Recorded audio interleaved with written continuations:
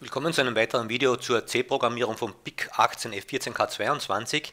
Wir beschäftigen uns mit dem ADC-Modul und haben jetzt im vorangegangenen Video bereits grundlegende Einstellungen vorgenommen.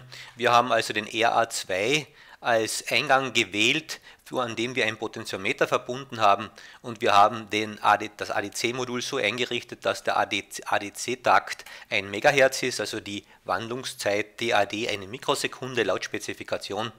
Wir haben also als positive Referenzspannung die 5 Volt Versorgungsspannung genommen, als negativ für die 0 Volt.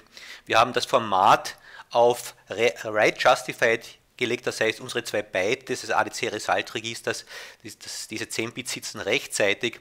Wir haben den ADC eingeschaltet und wenn wir jetzt wieder auf unsere Vorschrift gehen, diese Conversion Procedure, dann sehen wir, dass wir eines vergessen haben und zwar Select Acquisition Delay.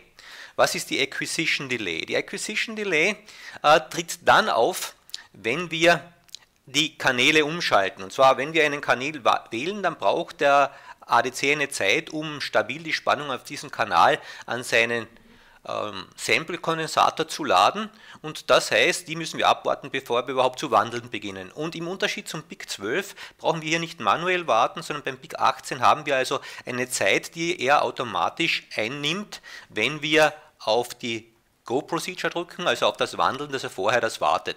Und ja, schauen wir mal, wo wir diese Acquisition Delay einstellen können. Diese Acquisition Delay soll also zwischen 1 und 5 Mikrosekunden liegen. Gehen wir also einmal auf die einzelnen Register. Im ADCON 0 sehen wir es nicht. ADCON 2 hat es. Das ist also hier die Acquisition Delay. Und wir wollen also vier TADs, das sind vier Mikrosekunden warten. Das heißt, wir gehen also hier auf ADCON 2.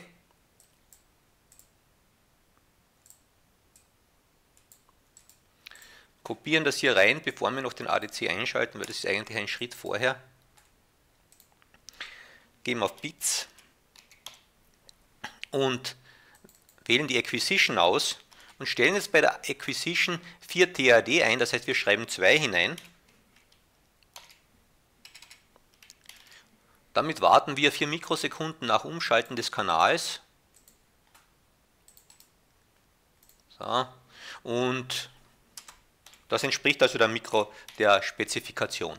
So, jetzt können wir weiter tun. Also Conversion Procedure. Wir haben den das ADC fertig oder den ADC fertig konfiguriert. Interrupt brauchen wir keinen.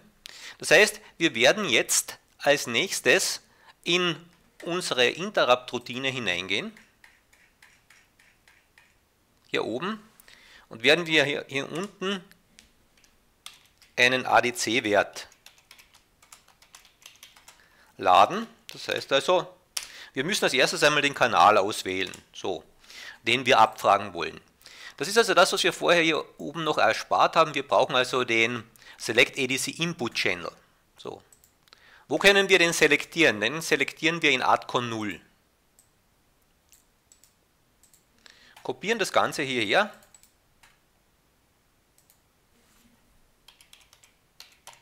So, und sehen jetzt den Channel Select. Und diesen Channel Select müssen wir auf unseren Zweier setzen. Das heißt also, hier ist das 2. Damit haben wir unseren Kanal 2 gewählt kopieren diesen Zweier noch hierher als Kommentar, damit wir entsprechend wissen, was wir getan haben. Und jetzt starten wir die Konversion. Und wie starten wir die Konversion? Mit dem Go-Befehl. Go. Das heißt also hier in diesem gleichen Register finden wir ein Go und Dann. Das heißt, nehmen wir mal unsere Adcon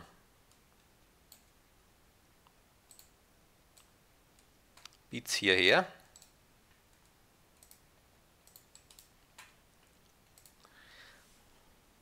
Und holen wir das Go ändern hier rein und jetzt schalten wir es ein. Das heißt also, jetzt beginnt der ADC, erstens aber wartet er ab, 4 Mikrosekunden, durch die Acquisition Time und das zweite ist dann, er beginnt eben zu wandeln.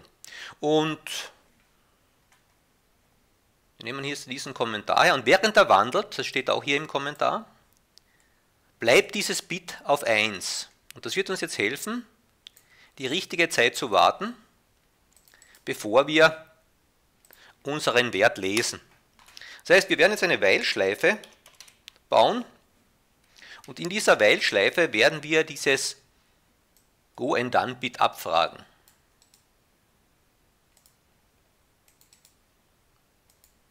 Und solange dieses Go and Done Bit 1 ist, bleiben wir in dieser While-Schleife, das heißt wir warten einfach. Hier dürfen wir nicht die geschwungenen Klammern vergessen, sonst macht sie einen Blödsinn. Und danach wollen wir eigentlich das Resultat auf eine Integer-Variable laden. Und diese Integer-Variable, die legen wir jetzt da oben einmal fest. Also eine Integer-Variable und die taufen wir Poti. Das ist also die Variable, die wir so getaufen, was wir einlesen. Und die geben wir jetzt hier mal hier rein. Das heißt, Poti ist gleich, und jetzt schauen wir uns an, wie das genau heißt. Und das sind unsere Register, die wir heruntergehen. Hier sind die ADRS H und Low. Wir wollen also das ADRS beides einlesen und auf die 16-Bit-Variable zuweisen. Und dann ist es passiert. So, und ja, jetzt können wir eigentlich beginnen, unseren Vorgang zu beobachten. Nur wie sehen wir das, die Wandlung? Wir sehen es einmal, indem wir den Debugger verwenden. Und wie können wir den Debugger äh, entsprechend einschalten. Naja, wir wollen im Programm eigentlich an dieser Stelle hier stehen bleiben. Deswegen klicken wir hier draußen auf die links außen auf den 83er und fügen einen Breakpoint ein. Und jetzt gehen wir hier oben auf Debug in der Kopfzeile und sagen Debug Main Project. Und jetzt beginnt der PC oder das MP Lab das Programm in den Prozessor zu laden bleibt aber mit dem Prozessor verbunden und transportiert uns Werte hier auf die Oberfläche, die wir beurteilen können und anschauen können. Und jetzt sehen wir eines, wir sehen auf einmal, dass dieser Balken grün geworden ist und unten im Fenster sehen wir Running and Target, target Halted. Das heißt, wir stehen hier. Also die Frage ist, wie beobachten wir jetzt hier Werte? Dazu gehen wir hier unten auf den Reiter Variables, drücken hier mal rauf und damit wir diese Variable Boti dauernd beobachten können, die ist nämlich hier unten zwar angezeigt, aber im nächsten Schritt würde sie verloren gehen, machen wir einen Watch. Und dieser Watch, den geben wir Boti ein und drücken auf OK. Und jetzt haben wir dieses, dieses Boti hier ständig da und jetzt werden wir das einmal benutzen. Das heißt, jetzt werden wir einmal einen Schritt weitergehen, hier oben mit Step Into. Und jetzt sehen wir hier unten unter Value einen Wert 0023a, das ist ein Hexadezimalwert. Und wenn wir jetzt unseren Schraubenzieher nehmen,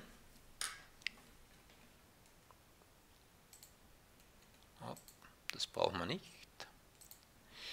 und unser Boti verstellen, das heißt, wir werden es einmal hier ganz raufdrehen, so, an den Maximalanschlag, und jetzt sollte eigentlich der Wert, wenn wir jetzt weiterfahren, sollte jetzt eigentlich sich erhöhen. Das heißt, wir gehen mal hier oben auf Continue, damit läuft das Programm wieder, solange es bis es stehen bleibt und dann einen Schritt weiter und jetzt sehen wir 0,3FF, der Wert hat sich erhöht. Wir sind also am Anschlag oben. Okay? So, wenn wir jetzt das Boti wieder verstellen, und zwar in die Gegenrichtung, also ganz nach unten, dann liegen jetzt hier 0 Volt an. Wir machen wieder einen Lauf. Es ist jetzt wieder hier. Gehen wieder auf Step Into und sehen jetzt hier den Wert 0. Das heißt tatsächlich, unser Boti-Wert sieht also zumindest stationär Anfangs- und Endwerte und Zwischenwerte. Ob es dynamisch funktioniert, wissen wir noch nicht. Aber dazu werden wir dann in weiterer Folge den DAC einsetzen. So, also fassen wir nochmal zusammen. Was haben wir getan? Wir haben also jetzt bei der Initialisierung noch einen Wert eingefügt, und zwar die Acquisition Time. Das ist die Zeit, die gewartet wird, wenn ein Kanal angewählt wird, bis sich die Spannung am ADC stabilisiert. Also automatisch, wenn wir jetzt wählen und wenn wir dann den Go-Befehl drücken, und das haben wir da oben getan, wir wählen also den Kanal, drücken dann Go schreiben wir es auf Go 1, damit beginnt die Wandlung. Wartet der jetzt 4 Mikrosekunden, dann wandelt er, das braucht also noch ungefähr mal 10 Mikrosekunden und ja, dann wird also hier gewartet, bis es fertig ist und hier zugewiesen. Und vielleicht ist eins noch interessant, jetzt werden wir mal den Debugger hier abbrechen, das heißt Finish Debugger Session, den Breakpoint hier rausnehmen und das Programm normal hineinladen in den Controller, also über diese normale Taste. So, jetzt läuft dann das Programm. Wir werden nicht wirklich äh, etwas sehen, weil der Zahlenwert im Prozessor verborgen ist. Aber was wir sehen werden, oder hoffentlich sehen werden, wenn wir aufs Oszilloskop gehen, wir sehen auf einmal hier unten eine Veränderung. Und zwar, dieser kurze Impuls ist also wesentlich länger geworden. Und diese Länge, wenn wir jetzt hier noch auf das triggern,